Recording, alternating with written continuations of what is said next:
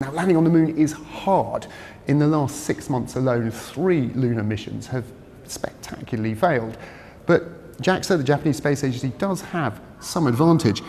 It's based its lander on the design of this one, Hayabusa 2, which they managed to land on a tiny asteroid way out in the solar system. And not only that, bring back a sample of the asteroid's material.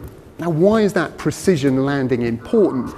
Well, it all comes down to moon rocks, and here at the Science Museum in London, they've actually got a piece of the moon. This was brought back by the Apollo astronauts. And while moon rock doesn't look that exciting, it contains interesting minerals and also, at discrete locations on the moon's surface, water ice.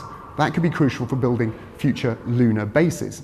But if you want to exploit that ice, you need to get as close to it as possible.